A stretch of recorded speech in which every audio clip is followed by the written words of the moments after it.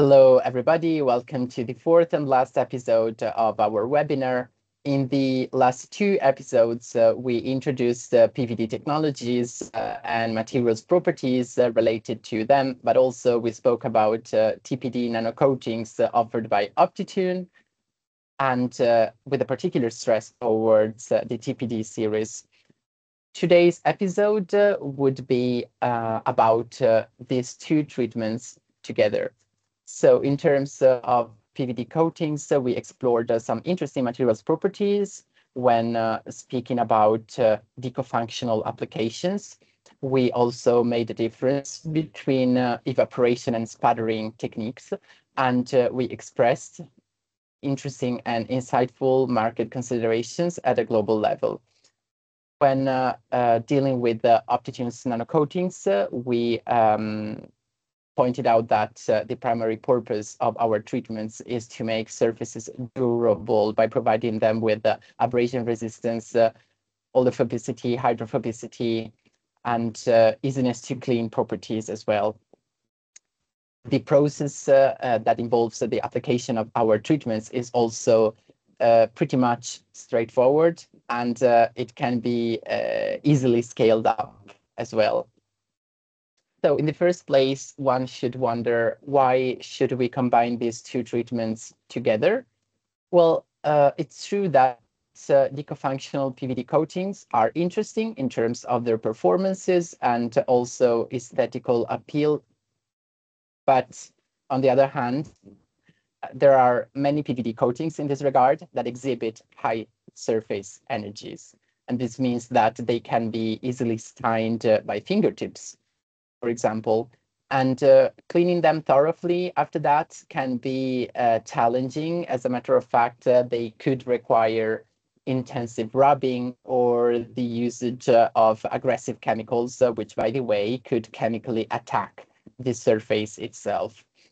And uh, on the other hand, it's true that PVD coatings can be also envisaged and tailored for some corrosive applications, so anti-corrosive uh, applications. Um, however, this is really up to uh, their chemical composition, for example, but uh, it's also uh, up to the roughness of the film as well. As a matter of fact, uh, the rougher a PVD coating, uh, the more capillaries it has got. And capillaries usually behave as privileged points to initiate chemical corrosion. Also, PVD coatings uh, um, can be tailored uh, in order to be abrasion resistant. However, on the other hand, uh, this boils down again to their chemical composition. One may wonder, uh, are these uh, two treatments really compatible? Our answer is yes, we proved it in our laboratories, and uh, we have uh, seen that uh, PVD-coated items exhibit a certain roughness, and this, uh, on the one hand, uh, can be a drawback, but uh, on the other hand, for our applications, it's a good thing because it eases the adhesion of our nanocoating. Also, PVD coatings um, are really suitable and are a good fit for all uh, process steps in uh, the application of our nano coatings. Uh, of course, it's also true that uh, uh, the TPD series products and in general our nano coatings uh, may meet a material that is a good fit for them as well in terms of the degree of purity, for example. So um, the surface should not have uh, any high degree of uh, contaminants or pollutants, uh, which, by the way, should be easily removed uh, uh, by ordinary cleaning uh, procedures implemented at an industrial level. Also, it's important to note that the PVD coating for optimal application of uh, our treatments should be um, the most uniform. So uh, this means that uh, the degree of defects uh, should be lowest.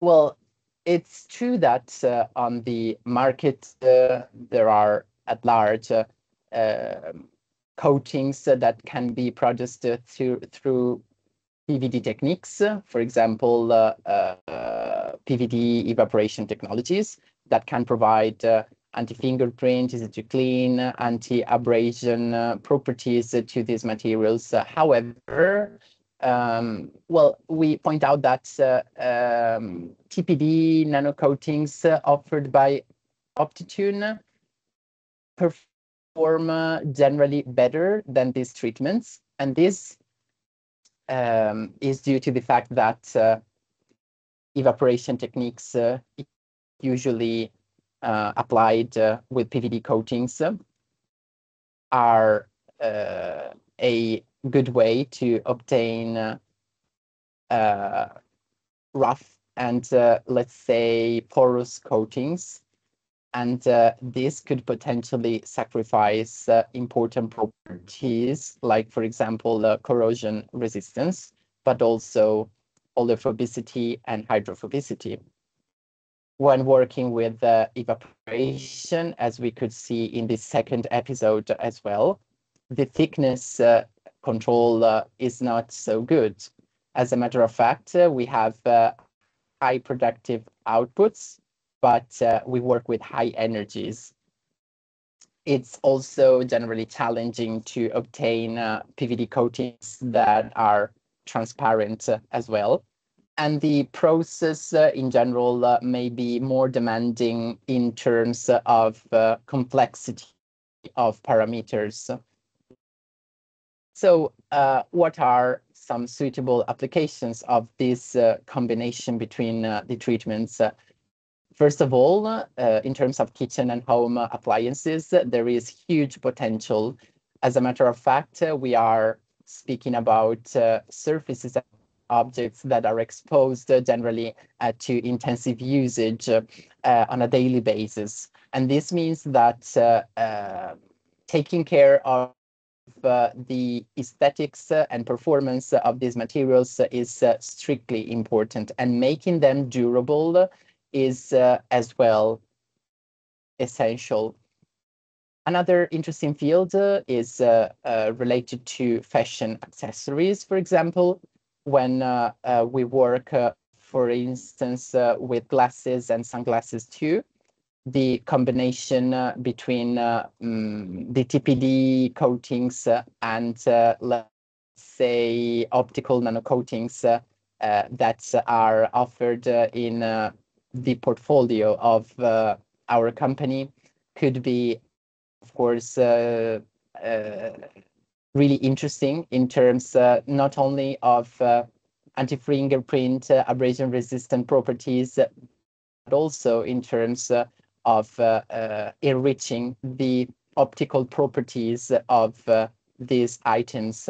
Another interesting application is relating to automotive parts, both for internal and external parts of cars and vehicles in general. I hope that uh, this uh, webinar has sparked uh, your interest. If you want to take a look at uh, our website, as you can see here, uh, please uh, Google www.optitune.com and you can email us as well. And you may want to take a look at our YouTube channel as well. So we are always keen uh, to speak with you and uh, uh, to learn, of course, about your company and the potential about new collaborations as well. Thank you so much for your attention, and I wish you all a good day.